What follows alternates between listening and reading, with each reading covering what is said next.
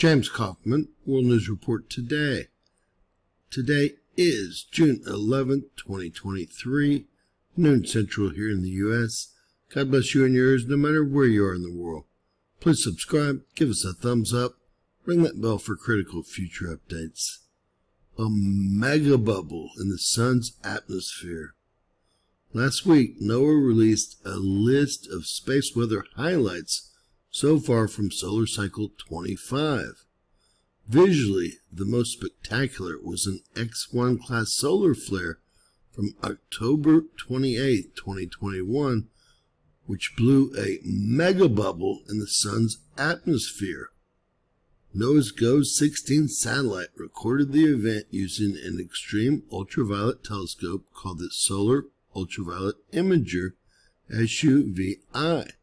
Compared to NASA's better known SDO, SUVI has a wider field of view which allows it to capture extremely large structures like this.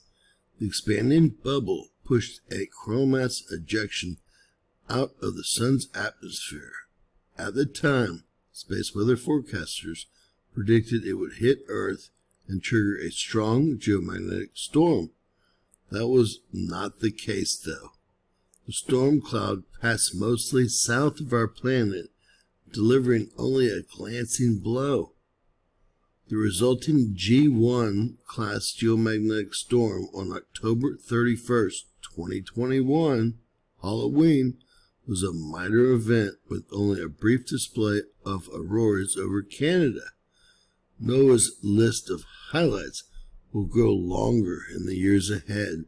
Solar Cycle 25 is a relatively young cycle with a maximum activity expected in late 2024 and early 2025.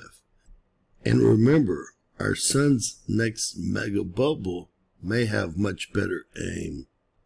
God bless you and yours. Share and subscribe.